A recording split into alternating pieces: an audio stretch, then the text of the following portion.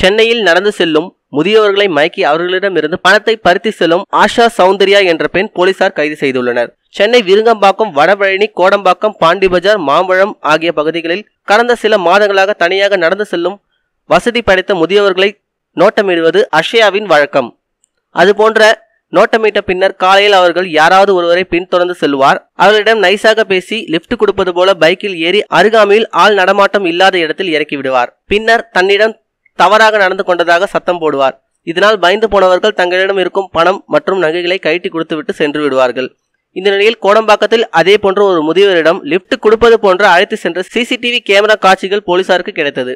இதனைத் தொடர்ந்து வீடியோ ஆதாரத்தை வைத்து அந்த பெண்ணின் மற்றும் வாகனத்தை அடையாளம் கண்டு கையும் களவுமாக பிடித்தனர். மேலும் அவரிடம் போலீசார் விசாரித்ததில் அவர் ஏற்கனவே பெங்களூர் சிறையில் இரண்டு ஆடுகள் இருந்தது தெரிய வந்தது கடந்த டிசம்பர் மாதம் சிறையிலிருந்து வெளியே வந்தவுடன் நேராக தனது வாகனத்தை எடுத்துக்கொண்டு சென்னை வந்துள்ளார்.